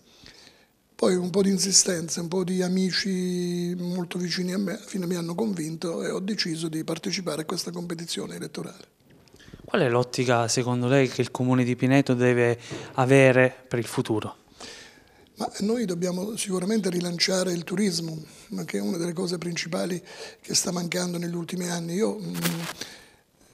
quando mm, negli anni Ottanta vivevo in maniera continuativa qui nel mio paese, anche se la mia famiglia è rimasta sempre qui a Pineto, e eh, mi ricordo che per poter scendere, venire in centro, innanzitutto non era quasi possibile trovare un parcheggio e poi c'era tanta di quella gente che era anche difficile camminare e farsi la passeggiata tra eh, il quartiere Corfu, il centro e la villa. È desolante invece vedere la situazione degli ultimi anni dove i parcheggi si trovano tranquillamente, quindi uno non ha un problema e la sera di gente ce n'è poca in giro. E questo si ripercuote pure sulle attività eh, commerciali, sui bar, sui ristoranti e quant'altro, per cui ritengo che bisogna rilanciare per il benessere, per lo sviluppo sicuramente il turismo, più tutta un'altra serie di attività che si allargano alla sicurezza, che è una delle, delle altre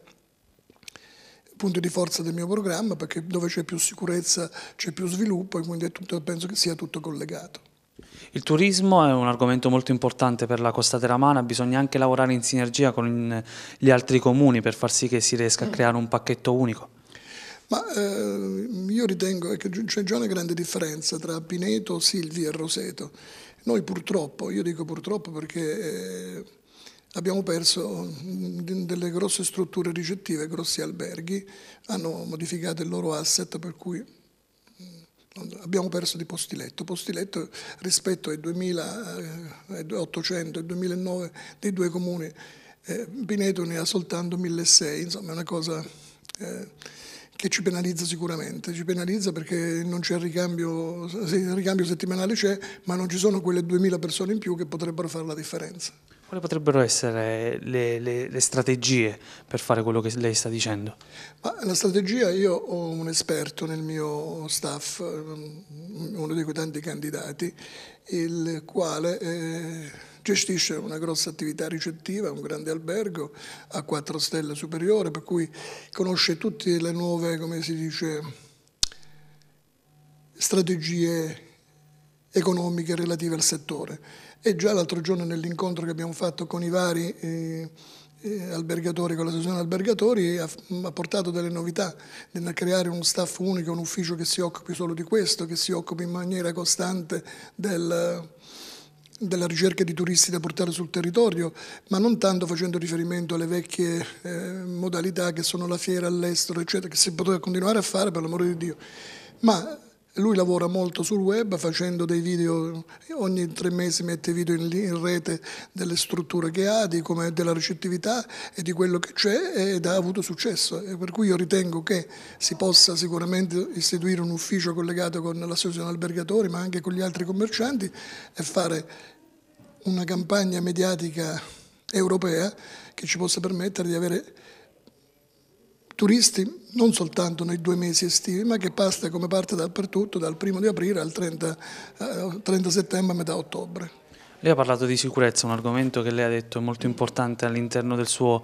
programma. I comuni della costa purtroppo hanno il problema che essendo sul, avendo le stazioni, avendo questi mezzi di trasporto e soprattutto essere collegati con le grandi città, soffrono il problema della criminalità. Il problema sicurezza è molto sentito a Pineto perché eh, abbiamo purtroppo diversi furti, furti che rispetto pure al calcolo popolazione residente è, è abbastanza è sentito. Non vi nascondo che a casa mia quando io ero a Pescara sono venuto due volte a rubare, per cui si sente, si sente come. Il Comune deve porre in atto tutte quelle attività che possono effettivamente far sì che la sicurezza sia più effettiva ed efficace. E io nella mia strategia, eh, nel mio programma, ci sono alcuni asset importanti. Innanzitutto dobbiamo posizionare, facendo riferimento a fondi che sono poi del Ministero dell'Interno,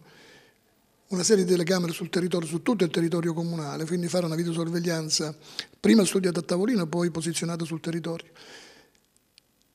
telecamere che però devono essere guardate, non possono essere come è accaduto in un periodo in cui ero a pescare, che il sindaco mi chiamò e mi disse mettiamo 50 telecamere, io disse guarda prima di mettere 50 telecamere innanzitutto ti mando io un tecnico affinché vengano posizionate dove servono. E poi alla domanda dice ma chi le vede queste telecamere? Eh ma eh, non le vede nessuno. E sette, allora che, che, le metti a fare le telecamere? Le telecamere se vanno messe devono essere visionate nell'immediatezza, non a remoto dopo che è successo il fatto. Noi dobbiamo prevenire i fatti, non che ne dobbiamo andare a scoprire chi è stato l'autore. Quindi, oltre al posizionamento della videosorveglianza, vorrei istituire una sala operativa che funzioni sulle 24 ore, comprendola sia con personale dei vigili della polizia locale nelle ore diurne, nelle ore notturne, facendo uh, riferimento alla polizia sussidiaria che sono le guardie particolari giurate. Se poi questo asset si può fare in simbiosi con i comuni vicini, ancora meglio, perché questo ci permetterà di consorziare i vigili urbani di tutte e tre. Io come faccio riferimento a Silvia Datri, che nell'ambito de della mobilità distano in alcune ore, in alcun, soprattutto di notte, ci vogliono 5 minuti per andare da una parte all'altra, quindi dove si potrà operare con delle pattuglie autonome, facendo anche riferimento alle polizie nazionali, carabinieri, eh, carabinieri, e polizia, con cui dovremmo sicuramente stringere e fare protocolli per far sì che questa collaborazione sia efficace ed effettiva. Purtroppo uno dei problemi che riguarda il Comune di Pineto è quello del problema idrogeologico, negli anni ne ha viste veramente di tutti i colori, problemi che si sta cercando di risolvere ma ancora purtroppo sono in essere. Allora, il problema idrogeologico rientra anche nel, nel nostro programma. Bisogna prendere delle persone competenti che sappiano il lavoro loro non prendere con tutto rispetto per ognuno, ma dobbiamo prendere gente che se ne occupa veramente, fare degli studi e cercare le soluzioni, che è l'unico modo per risolvere il problema, altrimenti non ne usciamo. Il problema delle alluvioni poi non è che riguarda soltanto Pineto Centro, ma riguarda Scerne. Ci sono tanti punti, riguarda il, la zona sud verso Pescara della Foggetta, che se viene l'alluvione alcuni i residenti non possono attraversare la strada perché hanno un ponticello di legno che non gli permette in caso di piena di uscire da casa loro. Quindi dobbiamo lavorare su tutto il territorio e riqualificare tutto ciò che riguarda la sicurezza idrogeologica. Se lei eh, dovesse essere il nuovo sindaco del comune di Pineto, qual è la prima cosa che farebbe? Ma innanzitutto sicuramente la sicurezza, perché alla base di tutto c'è un sistema sicuro. Collegato alla sicurezza poi vengeranno tutte le altre cose. L'Europa secondo lei è importante? L'Europa non è importante, è importantissima. Allora, in un dibattito del, di poche sere fa, dopo aver avuto contatto con un consulente che potrebbe fare parte del mio staff in futuro se dovessi essere eletto sindaco, che è esperto proprio di eh, contatti con l'Europa e di, eh, conosce tutti i bandi per poter attingere ai fondi europei, noi abbiamo scoperto, mi dispiace tantissimo, che negli ultimi anni abbiamo perso come comune quasi 10 milioni di, di euro di finanziamenti che potevano essere utilizzati per la sistemazione delle strade, per la, eh, il turismo, tutta una serie di attività che venivano finanziate dall'Europa. Purtroppo non abbiamo attinto per mancanza di progetti. Giovani e lavoro? I giovani sono nostra, il punto di forza, la nostra attenzione. Dobbiamo riportare le aziende nel nostro territorio e far sì che chi ha voglia imprenditoriali di ragazzi bisogna stargli a fianco, come bisogna stare a fianco a tutti i commercianti, perché cioè, eh, se si fa una passeggiata vedrà molte persiane eh, saracenesche chiuse, questo perché? Perché i costi degli affitti, poca gente in giro eh, non ce la fanno ad andare avanti, quindi dobbiamo sicuramente abbassare le tasse e favorire il rilancio della, dell'economia giornaliera degli esercenti che sono sul territorio. Questo deve essere collegato ad una sistemazione urbana, perché se tu riesci anche a far sì che chi viene viene volentieri perché eh, l'accoglienza del paese è diversa da quello che, che, è oggi, per cui dobbiamo sicuramente riqualificare tutto il centro storico, ma anche i centri altri, eh, delle altre frazioni che sono importanti. Noi abbiamo il Borgo Modignano che dobbiamo rilanciare sicuramente perché è un punto di forza del comune. Quindi le frazioni possono essere anche un po' un importante volano per rilanciare dal punto di vista anche turistico l'intero comune. Ma sicuramente sì, perché noi abbiamo il borgo di Mutignano, che poi sarebbe il borgo della nascita della mia famiglia, i miei nonni sono sotterrati al cimitero di Mutignano, che è uguale a Città Sant'Angelo, uguale a Montepagano, uguale a tanti altri eh, borghi bellissimi, è già bella di per sé, ma ci dobbiamo lavorare e rilanciare come punto anche serale di incontro, al di là del fatto che io vorrei fare eh, un albergo diffuso a Modignano in modo tale che si riesca a coinvolgere nell'attività imprenditoriale più famiglie possibili, le quali devono mettere a disposizione un bagno e una camera. Con un eh, lancio questo turistico in questo modo sicuramente si avrà la possibilità di mandare più persone a Modignano ed è un volano poi per l'attività commerciale perché se c'è persone che ogni settimana, cioè sono turisti che ogni settimana cambiano, mettiamo che riusciamo a mandare su 200-300 persone a settimana, questo significa che la sera escono, eh, vanno al bar, vanno nel ristorantino e quindi si, si genera quell'economia diffusa che eh, fa, porta benessere sul territorio. Visto è considerato purtroppo il momento difficile dei vari comuni, le associazioni e le prologo quanto possono essere importanti? Ma le associazioni sono un punto di riferimento importante, noi qui sul territorio ce ne sono tantissime, le stiamo contattando per collaborare insieme. La collaborazione penso che sia importante per tutti, non ci possono essere asset all'interno del comune che non vengono presi in considerazione dal, eh, dal comune stesso, per cui penso che debba essere un rapporto costante, ma il rapporto costante deve essere con tutti i cittadini, perché la prima cosa che voglio fare e creare dei comitati di quartiere che siano il punto di riferimento del comune. Loro devono avere diretta, il filo diretto con il sindaco. Passamonti, siamo arrivati alla fine di questa lunga intervista. Qual è il messaggio che vuole dare ai cittadini di Pineto? Ma io ho, mm, sicuramente Pineto è un sogno, quello di far sì che Pineto torni ad essere quello che era. Io non dico soltanto, c'è la possibilità di cambiare, non avete avuto per tanti anni l'amministrazione attuale, se siete contenti o non lo siete lo sapete voi, io vi dico abbiate la forza di cambiare e auguri a Pineto. Grazie mille a Paolo Passamonti con la lista sicuramente Pineto, adesso diamo spazio al nostro secondo ospite. Siamo in compagnia del nostro secondo candidato, siamo in compagnia di Filippo da Fiume del Movimento 5 Stelle da Fiume. Parte questa avventura, il 26 le elezioni amministrative, come mai la sua scelta di candidarsi? Ma la mia scelta è stata una scelta fatta soprattutto con, con il cuore, nel senso che io non mi sono mai occupato di politica in maniera diretta, sebbene abbia una passione innata per, per la politica, ma amo la mia città.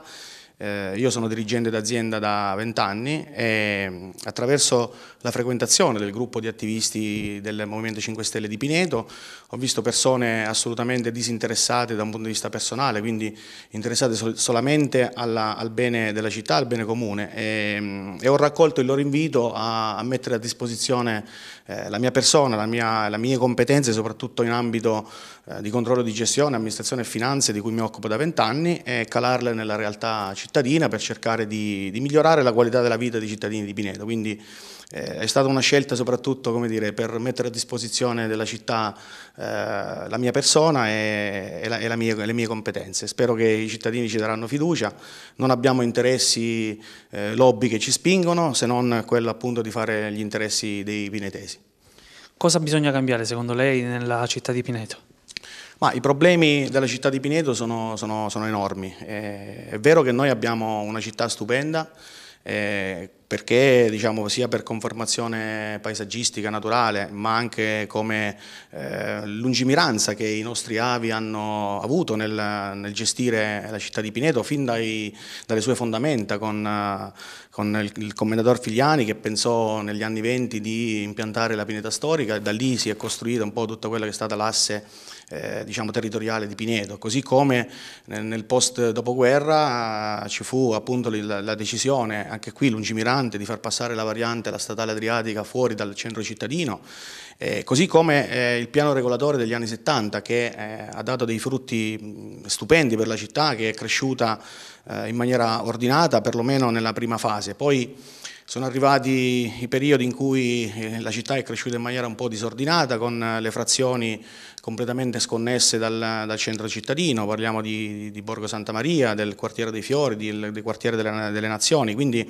i problemi di Pineto sono, sono, sono, sono diversi, sono molti, appunto a partire dal, dai problemi territoriali, sappiamo tutti che Pineto, ahimè, eh, ogni 4-5 anni subisce degli allagamenti, delle inondazioni e questo eh, diciamo, sia dalla parte sud della Foggetta fino ad arrivare alla frazione importante di Scerne. Eh, in 20 anni, 25 anni di amministrazioni uscenti eh, nessuno è stato in grado di porre rimedio a questo, a questo stillicidio e addirittura in qualche caso si è dovuta addirittura interrompere la stagione turistica perché appunto la, la manutenzione del territorio non, non è stata fatta assolutamente. Abbiamo sicuramente altri problemi che riguardano il lavoro, il turismo, eh, poco o nulla è stato fatto rispetto a quelli che erano i fasti del, del passato. Io ero piccolino, mi ricordo gli anni Ottanta, eh, dove Pineto pullulava di, di, turisti e si faceva fatica addirittura a, a camminare per Viale d'Annunzio. E, e quindi i problemi sono tanti, noi cercheremo di dare delle soluzioni concrete il nostro programma eh, è stato stilato in mesi e mesi di lavoro eh, con la compartecipazione dei, dei, cittadini. Noi siamo un gruppo di circa 40-45 attivisti eh, che si sono mossi sul territorio chiedendo alle persone, alle associazioni di categoria, eh, ai, ai portatori legittimi di interessi quali fossero i problemi della città e abbiamo stilato un programma dettagliato, qualcuno ci ha rimproverato che 24 pagine di programma sono un po' tante, però eh, io ritengo che per eh, cercare di migliorare la qualità della vita dei nostri concittadini siano dei punti assolutamente fattibili eh, che secondo noi nel quinquennio della, della, consigliatura potranno sicuramente migliorare quella che è la qualità di vita dei cittadini e del territorio di Pineto, quindi poi magari entreremo più nel dettaglio dei singoli, dei singoli argomenti, immagino. No? Proprio uno di questi primi argomenti è la questione turismo che lei ha iniziato a toccare. Quali devono essere gli obiettivi che il Comune di Pineto si deve, deve avere? Ma intanto mi riallaccio perché noi abbiamo una visione unitaria eh, del, de, della città che quindi non stacchiamo il turismo da altre eh, tematiche come la tutela del territorio. Ad esempio abbiamo il, gra il grandissimo problema dell'erosione della costa su cui pochissimo se non eh, addirittura interventi che poi hanno, hanno, non hanno avuto il, mm, diciamo, il, il, beneficio che ci si aspettava come il ripascimento morbido nella costa nord di fronte alla pineta Catucci eh, I problemi dell'erosione della costa sono problemi ormai più che ventennali e in questi vent'anni le amministrazioni che si sono succedute hanno semplicemente eh, fatto il ripascimento morbido, spendendo tra l'altro anche svariati milioni di euro di soldi pubblici e il problema è rimasto lì. Quindi sicuramente la prima cosa da fare è mettere mano a questo diciamo, grave, gravi, gravissimo problema che tarpa le ali a molti operatori turistici della zona, ma eh, penso che sia un problema che, di cui Pineto bisogna, farsi, bisogna, che si faccia carico a 360 gradi. Eh, si parla molto diciamo, della possibilità di impiantare eh, scogliere o, o, o simili. Eh, allora io non sono contrario a, ideologicamente, però eh, ritengo che eh, per evitare di nuovo eh, di utilizzare dei sistemi che poi eh, ex post si, si, rivelano eh, non adeguati. Io direi che bisogna alzare un po' l'asticella e coinvolgere gli enti di ricerca sovraordinati al comune, tra l'altro questa è competenza regionale, quindi, eh, ma eh, secondo me bisogna andare oltre la, la regione e capire come fare un monitoraggio serio, degli studi adeguati, affinché si possa poi prendere delle decisioni che siano definitive e che risolvano il problema in maniera definitiva. Quindi questo è il contesto. Poi da un punto di vista eh, di pratico di quello che si vorrà fare per, per, far sì che il turismo torni a essere il volano della, della, città, noi non credo che abbiamo bisogno di grandissimi investimenti in nuove strutture, quando piuttosto di gestire eh, l'esistente e valorizzare quello che abbiamo. Eh, noi abbiamo delle colline stupende, spesso ci si ferma soltanto a guardare il mare e la spiaggia, ma noi diciamo, non abbiamo sfruttato, tra virgolette, in modo positivo quelle che sono le nostre bellezze eh, a livello diciamo, di paesaggistica rurale. Eh, abbiamo tante possibilità di ripristinare strade bianche, percorsi ciclopedonali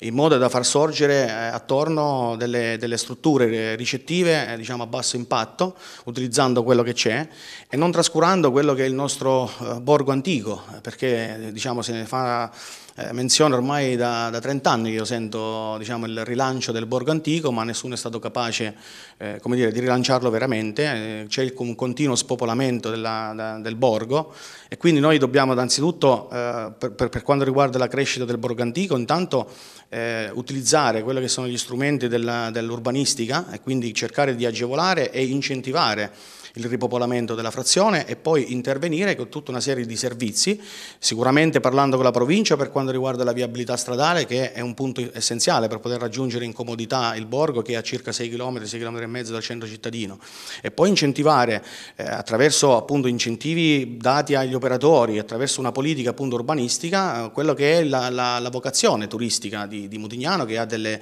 delle chiese rinascimentali, ha, ha delle, delle peculiarità stupende, ha delle associazioni associazioni che lavorano sul territorio in maniera eh, veramente encomiabile, cioè c'è soltanto da, da, da fare eh, applausi a, alle persone che si spendono sul territorio in maniera disinteressata. Quindi eh, incentivare un turismo diffuso, un turismo diciamo, a basso impatto ambientale, queste sono le nostre, le nostre, linee guida per quanto riguarda il turismo. Non ultimo, che sembrerebbe diciamo, magari una cosa non prettamente collegata, ma spesso si parla di allungamento della stagione, anche questo è un mantra che ricorre ormai da, da, da svariati anni. Ma, eh, l'allungamento della stagione è possibile nel momento in cui eh, si danno dei servizi ai turisti. Eh, servizi che possono essere ad esempio quello di ehm, coinvolgere le associazioni, tantissime associazioni che sono presenti sul territorio attraverso un coordinamento di queste associazioni. Io dedicherò un, un consigliere proprio a far seguire le associazioni, a metterle in rete, farle comunicare l'una con l'altra stanziare più fondi per quello che riguarda poi le iniziative che vengono intraprese nel territorio e cercare appunto di allungare queste, queste manifestazioni e non concentrarle soltanto nel mese estivo di, in quei 15 giorni di agosto dove sicuramente fervono le, le attività, tra l'altro io faccio parte di un'associazione importante a Pineto che è quella di risvegli sonori che eh, promuove ormai da 12 anni il Music Festival Pinettini Moderni, che ormai è conosciuto in tutta Abruzzo e anche fuori, fuori regione, e, e, capisco quali sono le difficoltà delle associazioni e, e, qua, e, quale impegno mettono in modo gratuito per far crescere il Paese. Noi pensiamo che un coordinamento a partire proprio da, da, dal finire della stagione, in modo da prepararsi per tempo, in modo che questi eventi siano diluiti il più possibile nel, nel, nel corso della stagione turistica. Non ultimo, eh, direi che è importantissimo eh, cercare di eh, ripristinare, eh, appunto come dicevo prima, e collegare le varie frazioni attraverso eh, percorsi ciclopedonali che invo invoglino il, il, turista a conoscere un po' tutto il territorio di Pineto, a far conoscere i monumenti che ci sono o anche eh, diciamo, case private storiche attraverso accordi con, con il Priato per, per, renderlo fruibile corso, nel corso dell'anno. Ecco, le idee poi sono tante, noi invito i cittadini a leggere il programma anche anche specificatamente sul turismo, dove ci sono diversi, diversi punti. Eh, sicuramente l'innovazione tecnologica è fondamentale da questo punto di vista, eh, la promozione dei bed and breakfast, delle app particolari, ad esempio la città di Siena ha un'app stupenda che guida il turista eh, nel suo arrivo fino alla sua di, di partenza da parte diciamo, appunto, del turista che arriva a visitare Siena, potremmo fare tranquillamente una cosa similare per Pineto. Eh, sono tutte cose che ad esempio il, la, la, vecchia amministrazione aveva nel programma del 2014, io invito i cittadini, farò un post sulla mia pagina Facebook per ricordare ai cittadini qual era il programma del, della vecchia amministrazione, l'amministrazione uscente, di quali sono state le proposte all'epoca fatte nel 2014 e, quali, e quelle realizzate. Siamo arrivati alla fine, quasi alla fine di questa lunga intervista, qual è il messaggio che lei vuole dare ai cittadini di Pineto? Ma allora, eh, io direi di dare un messaggio mm, semplice e, e diretto. L'alternativa la, all'attuale amministrazione è, è il sottoscritto e il gruppo del Movimento 5 Stelle Pineto. Sicuramente la destra, eh, essendosi diciamo, divisa in due liste, avrà eh, poche possibilità di, di, arrivare alla vittoria della, della cittadina. Eh, noi saremo sicuramente l'alternativa la, reale all'amministrazione uscente, che tra l'altro eh, avremo la possibilità di amministrare la città con un gruppo unito. Noi siamo una sola lista, siamo un gruppo di cittadini, eh, nessuno di noi, tranne il consigliere uscente Santino Ferretti, ha avuto esperienze nell'amministrazione nell comunale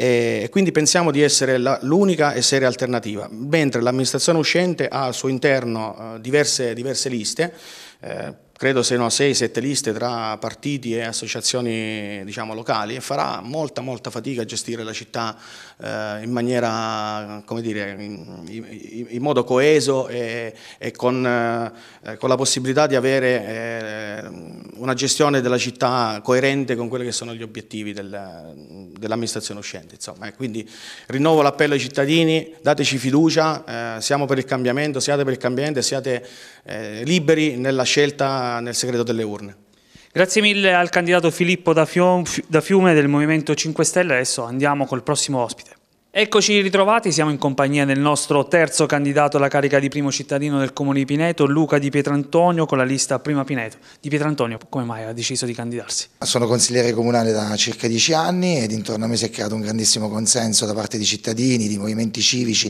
di associazioni che hanno voluto, che hanno visto in me una persona eh, che ha sempre lottato per il, per il, cittadino, che è sempre stata dalla stessa parte, una persona coerente, eh, anche quando... Eh, il centrodestra eh, era al 10%, sono stato sempre dal, diciamo, da quella parte e non ho mai tentennato. Quindi molti cittadini vedono in me una persona battagliera, una persona che eh, è molto coerente, è portatrice di sani principi e quindi ho deciso di accettare questa sfida perché molti cittadini me lo hanno chiesto. Pineto è un comune sulla costa che vive principalmente di turismo, il turismo deve essere il volano per la crescita di questo comune. Assolutamente sì, purtroppo in questi ultimi anni abbiamo visto una decisa decrescita del turismo a Pineto, ehm, purtroppo eh, molte, eh, molte, attività commerciali hanno chiuso, ehm, il, sotto la Pineta non c'è più quel movimento che prima contraddistingueva un pochino la vita estiva pinetese, ma quello che secondo me eh, ho notato proprio una mancanza di strategia da parte dell'amministrazione, eh, un'amministrazione un eh, che ormai è qui da circa 25 anni, eh, che ha amministrato sempre con le medesime persone e che eh, non ha dato quell'impulso, quella spinta propulsiva di cui Pineto ha assolutamente bisogno. Eh, secondo me il, il segreto è nel, nell'ammodernamento delle strutture, nell'ammodernamento e riqualificazione delle strutture esistenti e nel dare la possibilità ai, eh, agli albergatori o comunque agli imprenditori di, eh, diciamo, di eh, costruire nuove strutture. La sua idea del comune pinetese quale deve essere? Allora, il, la mia idea di comune è un comune funzionale, un comune funzionante, un comune sicuro.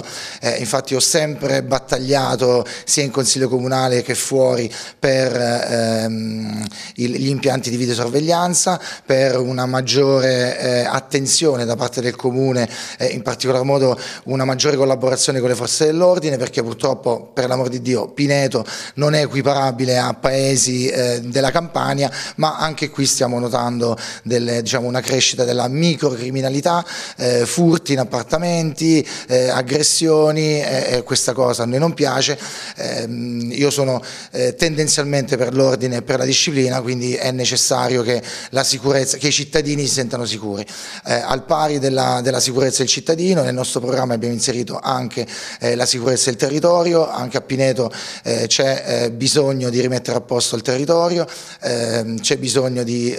risolvere l'annoso problema del rischio idrogeologico e secondo me questo con altri problemi tipo l'erosione della costa necessitano della cosiddetta, quello che io chiamo la filiera amministrativa virtuosa che eh, prevede il diciamo, comune, regione, eh, governo centrale e eh, Europa, adesso ci saranno le elezioni europee e sono convinto che la Lega avrà un ottimo risultato perché per questi interventi oltre a volerci strategia e coraggio ci vogliono anche, anche fondi e avere una regione amica, sappiamo che la regione eh, Abruzzo e il governo centrale e sicuramente anche l'Europa saranno a trazione Lega, sicuramente ci darà la possibilità di eh, poter beneficiare di questi eh, rapporti e quindi di, di poter accedere a dei fondi importanti che ci facciano risolvere questi problemi. Hai parlato del problema eh, idrogeologico del comune, purtroppo Pineto negli anni ne ha veramente subiti tutti i colori, quali devono essere gli interventi che secondo lei possono un po' oh,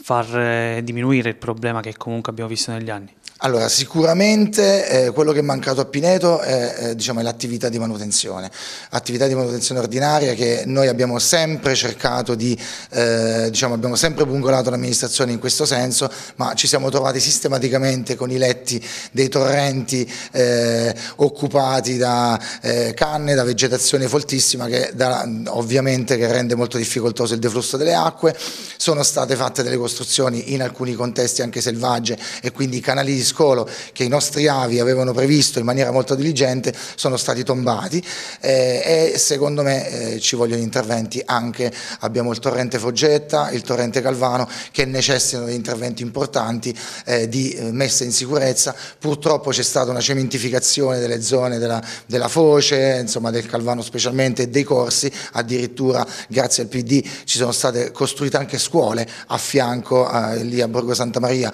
a fianco eh, diciamo, delle, degli argini del, di questo torrente, il che rende tutto molto pericoloso. È ovvio che non possiamo abbattere le costruzioni, ma dobbiamo necessariamente metterle in sicurezza. So che ci sono dei progetti che prevedono vasche di contenimento, vasche di espansione, eh, Purtroppo questa amministrazione si è limitata sempre e soltanto negli anni, non solo in questi ultimi cinque anni, ma anche nelle amministrazioni precedenti, quelle di Monticelli, ehm, a far fare dei, degli studi, a fare dei progetti, a spendere denaro, salvo poi non fare nulla di concreto. Noi siamo per, siamo per eh, e non solo come claim, siamo ehm, quelli che passeranno dalle parole ai fatti e noi siamo quelli che interverranno sul territorio in maniera decisa, in maniera determinata e risolveranno eh, questo problema. Sicuramente questo è uno degli impegni che mi prendo con i cittadini, lavorerò, lavorerò sin dal primo giorno per risolvere questo e tutti gli altri problemi che ci sono a Pineto. Anche la questione dell'erosione è un problema molto serio, però lì bisogna anche affrontarlo con gli altri comuni della costa. Assolutamente, sì, eh, è un problema che riguarda eh, diciamo, tutta la, la, costa teramana, un po' tutta la costa abruzzese, Pineto è uno dei comuni più colpiti, anche in questo senso, anche su questo frangente l'amministrazione comunale ha latitato perché ha spesso preso in giro e illuso i cittadini di fare questi interventi, ci sono operatori turistici che si ritrovano ormai senza spiaggia, il il, il, mare è arrivato sotto le case, abbiamo speso milioni e milioni di euro per ripascimento morbido, ripascimento morbido che non sta dando alcun tipo di risultato perché purtroppo alla prima mareggiata tutta la sabbia che è stata apposta, è stata eh, sistemata sul, sulla spiaggia viene sistematicamente portata a mare. E anche su questo è, è venuto il momento di fare sì progetti ma poi di mettere in atto questi progetti, dare esecuzione a questi progetti e fare degli interventi che a mio modo di vedere devono essere definitivi, anche perché come si suol dire, con i chiari di luna che ci sono, adesso non è più possibile spendere tutti questi milioni di euro per, eh, diciamo, per ripascimenti che poi si rivelano assolutamente inutili, quindi è necessario intervenire in maniera decisa e definitiva. Per questi interventi quanto è importante anche l'Europa?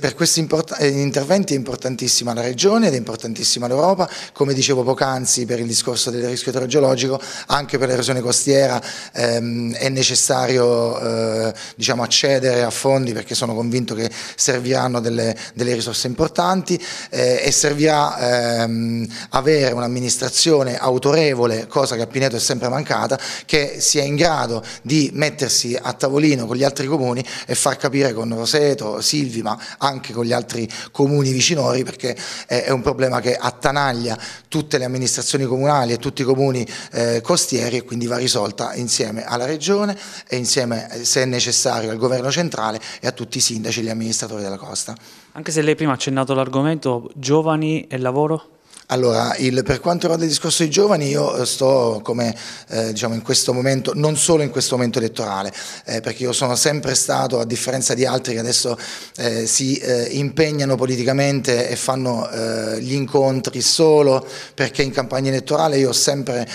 incontrato i cittadini, sono sempre stato accanto ai cittadini e spesso ho, mi è capitato di incontrare i giovani, giovani che lamentano la mancanza di lavoro, giovani che lamentano la mancata considerazione da parte della dell'amministrazione, tant'è che molti eh, ragazzi d'estate, molti ragazzi giovani sono costretti per quanto riguarda il discorso di divertimento ehm, a spostarsi anche pericolosamente in comuni vicini eh, e sono costretti tante volte ad emigrare anche perché non c'è lavoro. Addirittura in, eh, a Pineto abbiamo, eh, abbiamo avuto la Costituzione, è un paese tranquillo Pineto, abbiamo, facciamo delle manifestazioni ma non può dirsi un comune, un comune rumoroso, eh, addirittura c'è stata la Costituzione l'istituzione di un comitato antirumore che vorrebbe praticamente eh, diciamo, far tace, silenziare tutti i nostri giovani, silenziare tutti quanti i locali che vogliono fare musica. E assolutamente mi dispiace per chi fa parte di questo comitato ma non troverà le loro istanze purtroppo non, non possono ovviamente sempre nel rispetto alla legge non vogliamo creare delle, diciamo delle non voglio dare una cattiva impressione eh, sempre nel rispetto alla legge ma i giovani devono divertirsi i giovani devono avere la possibilità di manifestare anche divertendosi le loro eh, diciamo le loro volontà, il, insomma tutto quello che eh, vogliono fare, eh, non si può silenziare i ragazzi così. Quindi io sarò sicuramente dalla loro parte e laddove ci dovesse essere un, eh, diciamo, un braccio di ferro, come alcune volte è successo, tra chi vuole silenziare Pineto e invece, e i ragazzi che invece vogliono divertirsi, io starò sempre dalla parte dei ragazzi, su questo non ci sarà dubbio.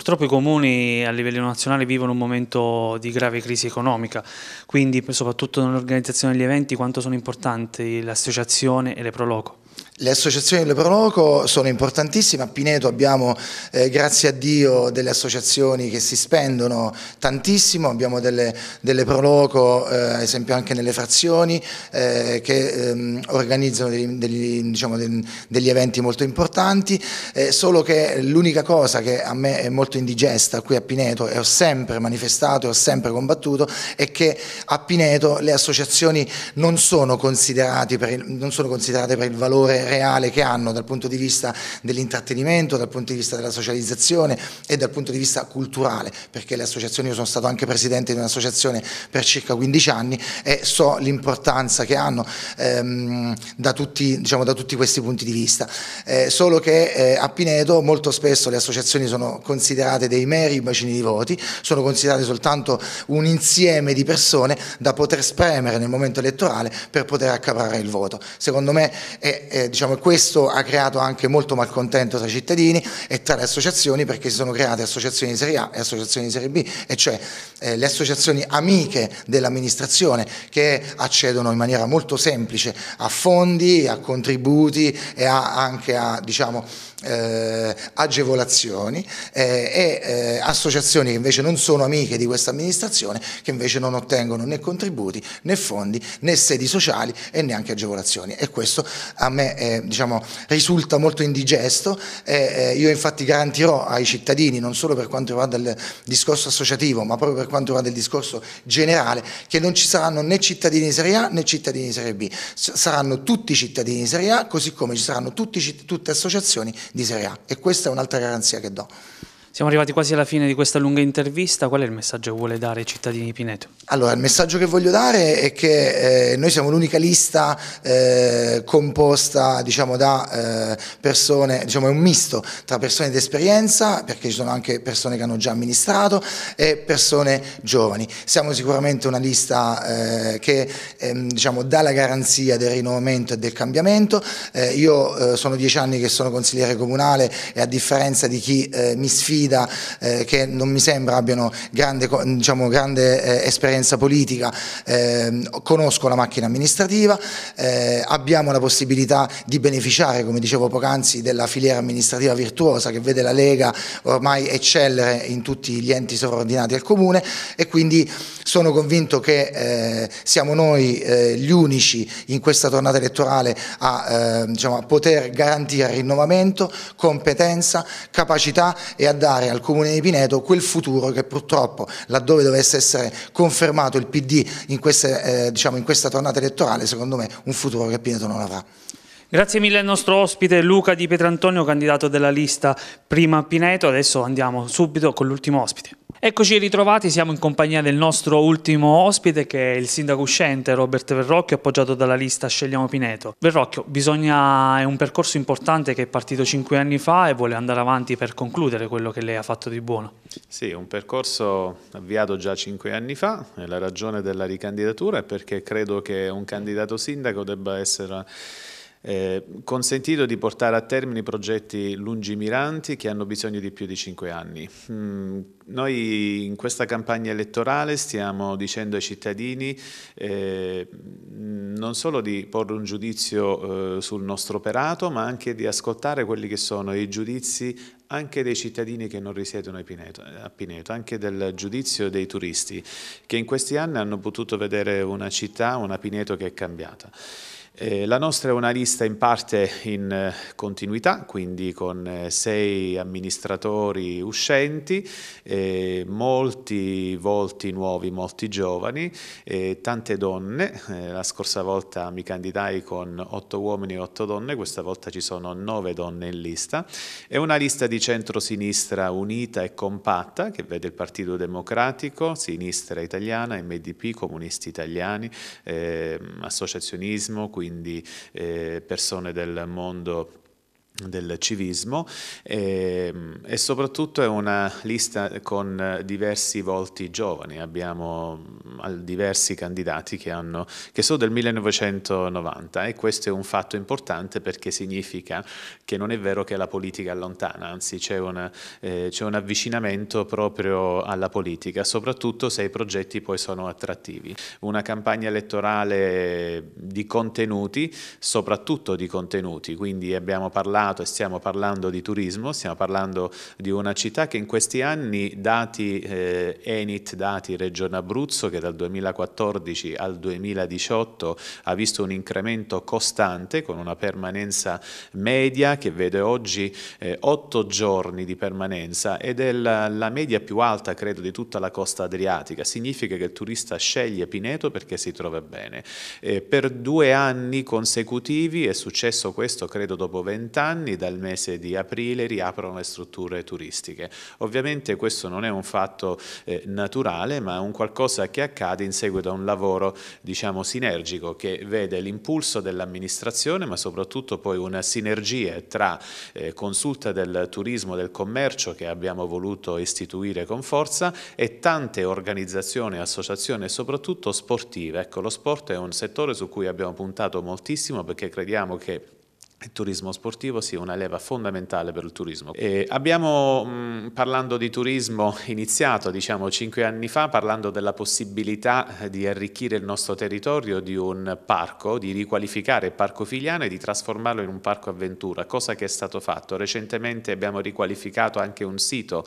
eh, un sito eh, ambientale, un sito importante, il Vulcanello di Fango, che in occasione della giornata FAI ha avuto oltre 1500 visitatori, persone che sono venute da da fuori che non conoscevano quel sito. Tra circa tre settimane, quattro settimane aprirà un nuovo parco, in questo caso è un parco galleggiante sul mare, sempre con la sinergia di privati ovviamente. Eh, stiamo mm, in questi giorni proprio approntando eh, uno studio per la modifica delle norme tecniche di attuazione per eh, apportare una modifica al piano regolatore per consentire alle strutture turistiche di eh, mm, apportare ammodernamenti e apportare anche ampliamenti alle proprie strutture strutture, quindi crediamo che questi siano interventi strategici. Ecco, abbiamo maturato in questi anni, avendo a che fare con tanti operatori, che Pineto ha bisogno anche di una struttura che possa accogliere durante eh, tutto l'anno i congressi importanti. Abbiamo delle strutture bellissime, sono confortevoli, rispondono anche a tante esigenze di coloro che scelgono Pineto per organizzare eventi, ma non sono sufficienti posti. Quindi nel nostro programma abbiamo inserito la possibilità, guardando prioritariamente a recuperare, perché ci sono delle strutture che possono essere recuperate, realizzare anche un palacongressi che abbia almeno mille posti. Abbiamo puntato molto sul sociale nel nostro programma, perché il sociale è stato al centro delle nostre attenzioni. Noi abbiamo aperto un supermercato solidale che si chiama La Formica, vista con attenzione un po' da tutta l'Abruzzo e dico anche oltre perché sono venuti anche da fuori regione a vederla questa struttura struttura, soprattutto perché è di iniziativa comunale. Abbiamo voluto dare un servizio guardando e mettendo in prima linea eh, la dignità del cittadino. Oggi abbiamo un supermercato in cui si accede con una card, passando attraverso i nostri servizi sociali, eh, potendo fare spesa attraverso banchi di un supermercato nella totale come dire, tranquillità e serenità, seppur all'interno di un momento diciamo, di difficoltà che quella stessa famiglia magari sta attraversando, ma nella massima dignità. Sono ai noi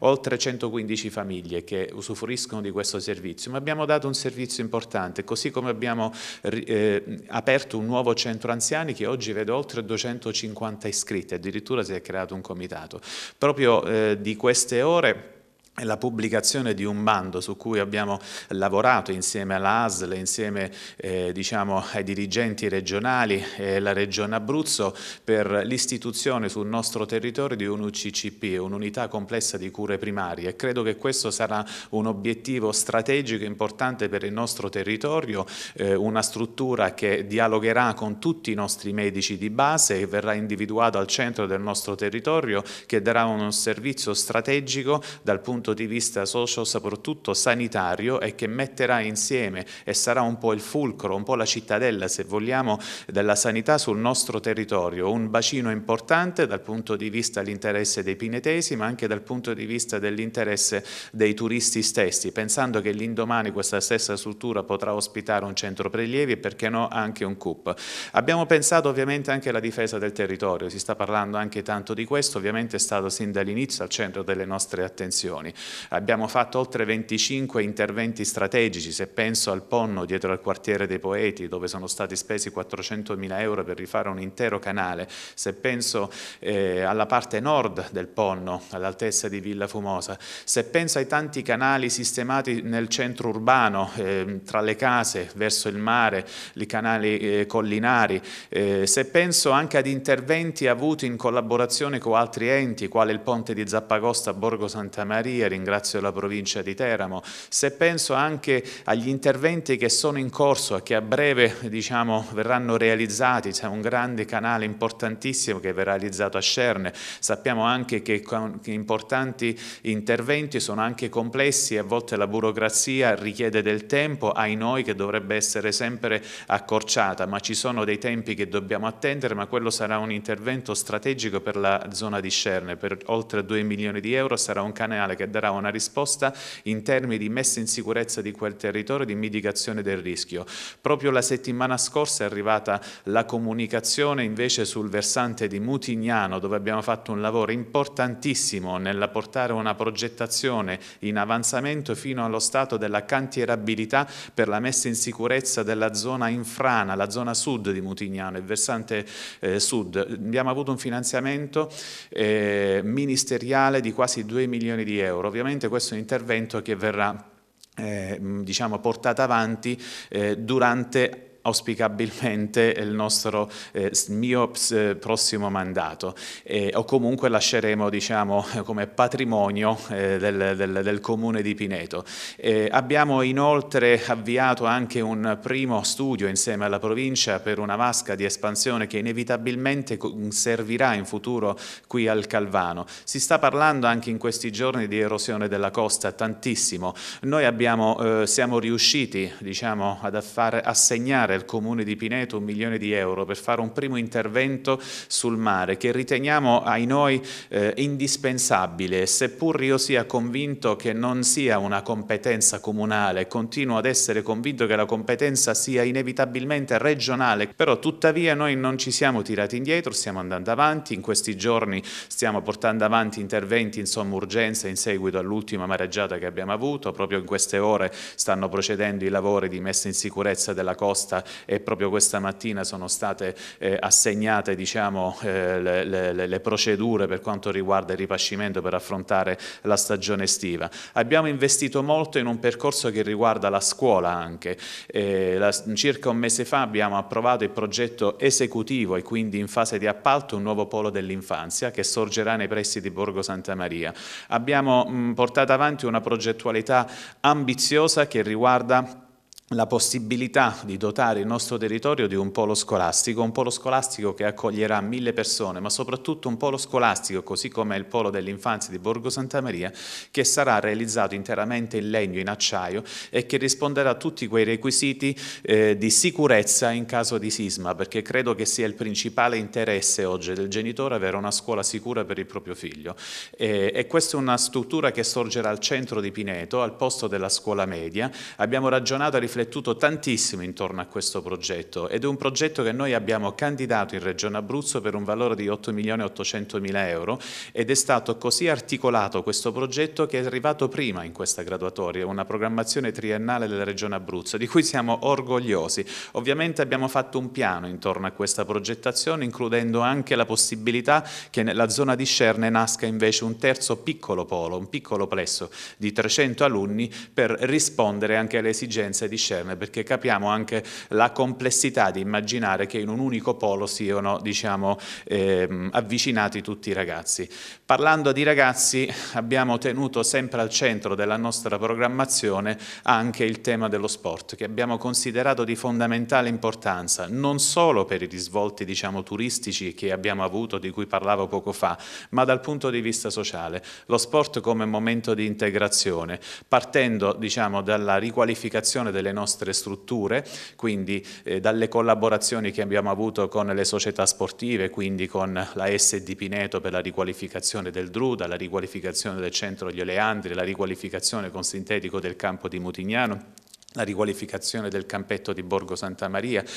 Abbiamo inserito nel programma un nuovo sintetico al campo sportivo di Scerne, la realizzazione di un campo di calcetto al quartiere dei Poeti, così come il completamento di Santa Maria a Valle, ma la cosa che più mi preme è la possibilità di far nascere e sorgere a Pineto un CASP, un centro di avviamento allo sport paralimpico, perché se c'è un tema che più mi è stato a cuore in questi anni è stato il tema dell'integrazione dello sport tra eh, disabili e normodotati ed è un tema su cui abbiamo insistito tantissimo ospitando tante manifestazioni sportive intorno al tema della disabilità fino ad ospitare proprio qualche mese fa la settimana eh, paralimpica insieme al ritiro della nazionale diciamo decine e decine di attività paralimpiche. Abbiamo avuto anche eh, la testimonianza con la presenza del presidente nazionale del Comitato Italiano Paralimpico Pancalli che è stato un momento importante che ha testimoniato quanto di importante insomma stesse facendo la nostra città. Siamo arrivati alla fine di questa lunga intervista, qual è il messaggio che vuole dare ai cittadini? Il messaggio che vogliamo dare ai cittadini è un po' slogan, lo slogan della, della, nostra campagna elettorale, eh, continuare a far crescere Pineto, eh, continuare eh, a crescere insieme, dare la possibilità a Robert Verrocchio di eh, fare un secondo mandato per portare avanti grandi obiettivi come quelli che ho elencato adesso e tanti altri che ovviamente per ragioni di spazio non posso raccontare adesso in questi pochi minuti, ma che continuerò a raccontare nell'ambito eh, di questa campagna elettorale eh, che stiamo affrontando con sobrietà, con umiltà e soprattutto con il cuore. Grazie mille a Robert Verrocchio, sindaco uscente del Comune Pineto, candidato con la lista Scegliamo Pineto, ma soprattutto un grazie speciale a voi amici telespettatori che ci avete seguito in questa lunga puntata di speciale elezioni.